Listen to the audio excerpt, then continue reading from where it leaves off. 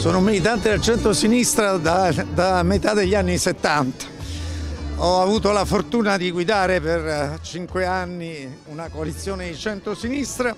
Non potevo non essere qui accanto e con il popolo del centro-sinistra, le donne e gli uomini, per sostenere Alessio D'Amato, tutte le liste e tutti i candidati. È una sfida importante, soprattutto in questo momento per il nostro Paese. Quando era stata la prima volta in presente, era stato presente? Beh, devo dire, eh, poiché sono stato a fare il vostro lavoro per sei anni in Medio Oriente, eh, da 13 anni non ero, ho, fa, ho partecipato a alcuni eventi, ma è questa è la prima volta. Penso che è il momento giusto, ognuno deve dare il suo contributo. Anche se la sfida è un po' impossibile, eh, Come? La sfida è un po' impossibile. Beh, ehm, se vi ricordate, quando iniziai la campagna elettorale e il- l'avversario era Storace, noi stavamo sotto di 15 punti.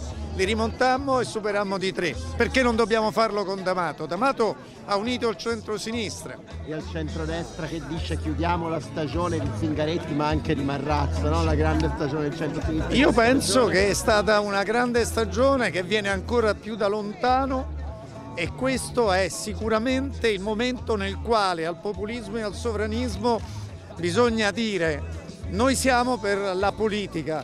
La politica significa da un lato valori condivisi e questo non lo sento dire da molto tempo.